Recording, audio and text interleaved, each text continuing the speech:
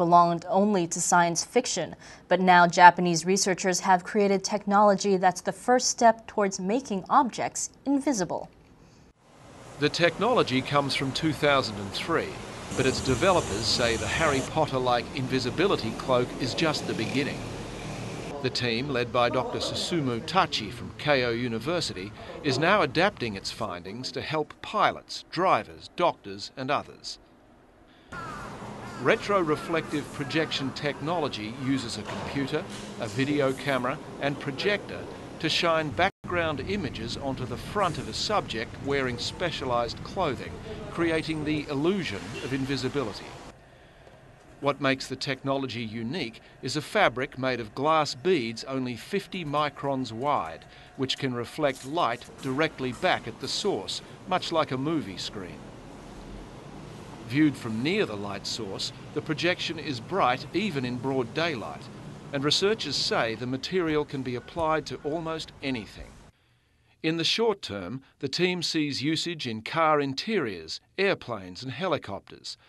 They say blind spots could be eliminated and accidents and hard landings avoided by making walls seemingly transparent. The eventual goal, though, is to create an augmented reality that allows anyone to easily see information on real world objects. Looking to the future, instead of glasses, people could wear this, and it would act as a navigation system. It could also tell you who someone is if you meet them around town.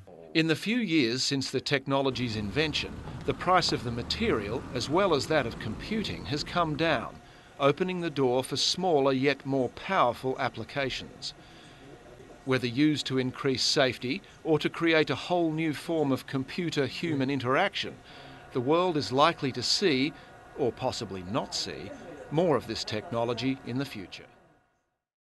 What's coming up down the road and very quickly is the Harry Potter cloak. What is it? With that fictional cloak, Harry isn't just camouflaged, he's invisible. My body's gone. How invisible are we talking here? If I walked into a room with a soldier wearing one of these cloaks, you wouldn't see him at all. Uh, he would be completely invisible to you. This isn't make believe. The military has seen the so called quantum stealth technology. It works by bending the light around an object, even concealing most of a person's shadow. Imagine what that could do for a sniper hiding in a field, or the American pilots who ejected over Libya when their fighter jets crashed last year. They could actually pull out, uh, very similar to what they carry with a survival blanket, throw it over top of them. And unless you walked right into them, you wouldn't know that they were there. So, what was once firmly in the world of make believe could quickly become quite real.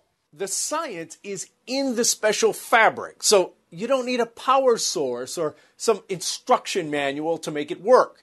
Theoretically, any soldier, even in the most remote location, could quickly put it on and get it working.